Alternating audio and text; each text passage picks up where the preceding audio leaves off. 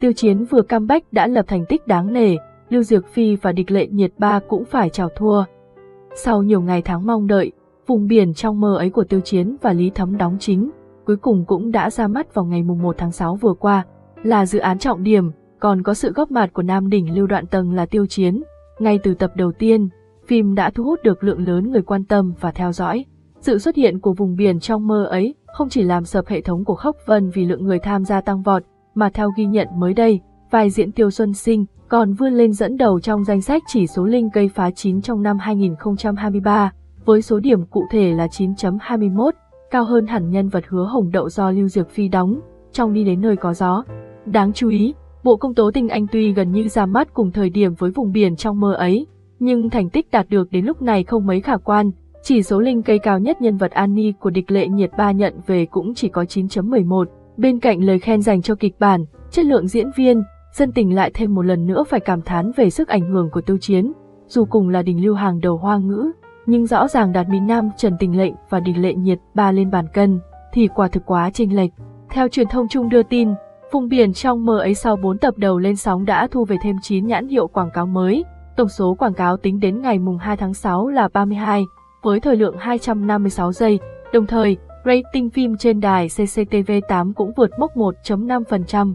Vùng biển trong mơ ấy lấy bối cảnh thập niên 70 ở Bắc Kinh, kể về quá trình trưởng thành, vượt khó khăn để theo đuổi ước mơ, hoài bão của một nhóm thanh niên trẻ nhiệt huyết. Trong phim, Tiêu Chiến vào vai Tiêu Xuân Sinh, một chàng trai trọng tình trọng nghĩa, luôn cố gắng nỗ lực từng ngày để có được một cuộc sống tốt đẹp. Hóa ra em gái Triệu Lệ Dĩnh đã có tạo hình ở Hồ Yêu Tiểu Hồng Nương của Dương Mịch, nhưng bị chê tơi tả. Kể từ khi khai máy, Hồ Yêu Tiểu Hồng Nương phần Nguyệt Hồng Thiên do Dương Mịch và Cung Tuấn đóng chính, vẫn luôn là dự án phim nhận được sự quan tâm rất lớn của công chúng. Bên cạnh cặp đôi chính, bộ phim này còn sở hữu loạt nhân vật phụ với ngoại hình cực bắt mắt. Mới đây, dân tình đã được fan bàn tán xôn xao trước tạo hình của viên băng nhiên trong Hồ Yêu Tiểu Hồng Nương phần Nguyệt Hồng Thiên. Theo đó, viên băng nhiên từng được mời vào vai nữ hai của Hồ Yêu Tiểu Hồng Nương phần Nguyệt Hồng Thiên, là đồ sơn nhã nhã. Tuy nhiên, vì bê bối trốn thuế, cô nàng đã bị hất cẳng khỏi dự án này và thay bằng Quách Hiểu Đình. Mới đây, tạo hình của viên băng nhiên trong Hồ Yêu Tiểu Hồng Nương phần Nguyệt Hồng Thiên bất ngờ được tung ra và nhanh chóng leo lên top một hot search Weibo. Ngay khi tạo hình của viên băng nhiên được đưa ra, nhiều khán giả đã cảm thấy may mắn vì phía đoàn làm phim đổi sang Quách Hiểu Đình. Nhiều ý kiến cho rằng cô em gái Triệu Lệ Dĩnh không có vai bơ hồ ly của đồ sơn nhã nhã. Trong khi đó, nhìn Quách Hiểu Đình trông thần thái, hút mắt hơn hẳn. Ngoài ra, việc thay diễn viên cũng giúp Hồ Yêu Tiểu Hồng Nương phần Nguyệt Hồng Thiên không rơi vào kết cục bị nằm kho như mùa hoa rơi gặp lại chàng và khuynh thành diệt thanh hoan. Viên băng nhiên diễn mấy vai đáng yêu thì hợp thật, nhưng Quách Hiểu Đình có vai bơ hồ ly hơn thật mà. Nhìn tạo hình và thần thái của Quách Hiểu Đình vẫn hơn viên băng nhiên chứ, mong phim sớm được lên sóng. Nếu vai đồ sơn nhã nhã này có vai bơ đáng yêu, thì viên băng nhiên đóng thấy cũng tốt mà. Cô diễn đáng yêu nhìn đáng yêu thật sự, không bị sượng. Quách Hiểu Đình nhìn đẹp hơn, hên là đổi diễn viên kịp, chứ không phim khó qua xét duyệt. Hiện bộ phim Hổ yêu Tiểu Hồng Nương phần Nguyệt Hồng Thiên vẫn đang chờ xét duyệt để chiếu thời gian tới. Không phải tiêu chiến, Dương Tử sắp sửa tái hợp với cha nam đáng ghét nhất si biết. Tin đồn Dương Tử sắp sửa tái hợp với Hoắc Kiến Hoa trong dự án dân quốc, Đại Y, đang gây xôn xao khắp cõi mạng. Được biết, trước đó ông xã Lâm Tâm Như và Dương Tử đã từng làm việc chung ở bộ chiến trường xa, lên sóng năm 2014. Tuy nhiên, chưa để cư dân mạng kịp chúc mừng hay phản đối, phía Dương Tử đã ngay lập tức lên tiếng bác bỏ tin đồn, khẳng định hoàn toàn không có chuyện bộ đại y đang tiếp xúc với cô. Cộng thêm nữa, bản thân Dương Tử cách đây ít hôm, vừa mới đi định trang cho tác phẩm Thừa Hoan Ký, hợp tác cùng Hứa Khải. Phim cũng đã có lịch khai máy dự kiến vào tháng 6 này, thế nên không thể có chuyện cô nhận thêm một kịch bản khác trong khoảng thời gian vài tháng tới. Không chỉ Dương Tử, Hoắc Kiến Hoa cũng đã có lịch trình đóng phim khác. Theo truyền thông đưa tin, vào đầu tháng 6, anh đã tới tại Bắc Kinh để chuẩn bị ghi hình cho câu chuyện Hoa Hồng, nên duyên với thiên tiên tỷ tỷ Lưu Diệc Phi. Đây cũng được xem là dự án đánh dấu màn tái xuất của sao Nam Hoa Thiên Cốt, sau 5 năm vắng bóng màn ảnh nhỏ. Dương Tử là một trong những nữ đỉnh lưu hàng đầu hoa ngữ với lượng fan đông đảo, xuất phát điểm là diễn viên nhí. Tính đến nay, Dương Tử đã có cho mình một gia tài phim ảnh đồ sộ, nổi bật nhất phải kể tới, hương mật tựa khói xương, cá mực hầm mật, trầm vụn hương phai, chu tiên thanh vân trí.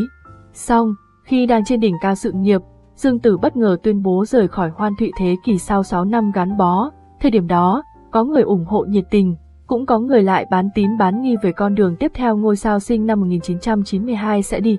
Mặc dù hiện tại Dương Tử đã có thể tự mở phòng làm việc riêng, chỉ đóng những bộ phim cô muốn giống như chia sẻ trước kia, nhưng dân tình lại cho rằng tài nguyên của cô đang bị trứng lại, thậm chí có dấu hiệu tụt dốc, khi mà các tác phẩm nữ diễn viên tham gia gần đây, từ trường tương tư, tình yêu 199, cho tới thừa hoan ký, đều là hợp tác với dàn sao kém tiếng hơn mình. Tạ Na cosplay tạo hình hoa thiên cốt của Triệu Lệ Dĩnh, chấn động thế nào mà netizen quên luôn bản gốc. Nếu là người quan tâm tới làng giải trí hoa ngữ, cũng như đã từng tìm hiểu về Triệu Lệ Dĩnh, đều rõ mối quan hệ thân thiết giữa nữ diễn viên và MC quốc dân Tạ Na.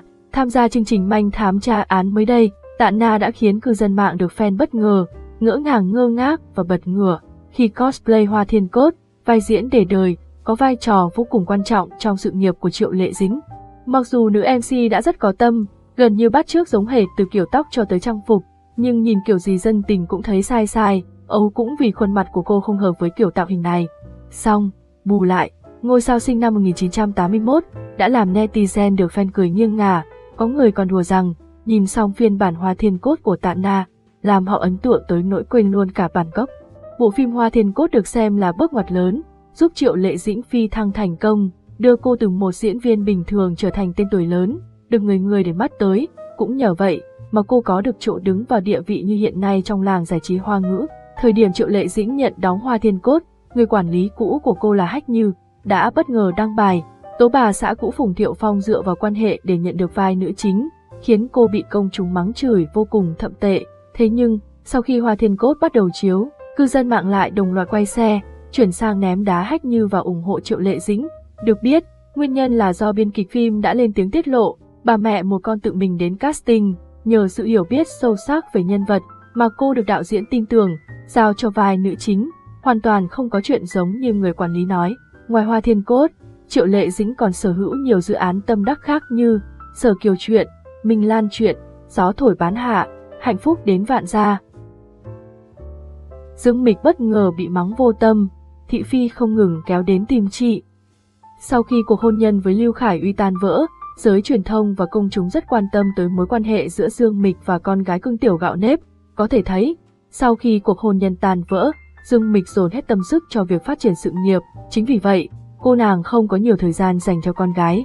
Trong khi đó, Lưu Khải Uy lại trở nên im ắng hơn hẳn sau khi ly hôn. Có nguồn tin cho rằng anh trở về Hồng Kông để chăm sóc con gái tiểu gạo nếp, nhưng ngay sau đó Lưu Đan, bố của Lưu Khải Uy, lại nhiều lần phủ nhận thông tin này.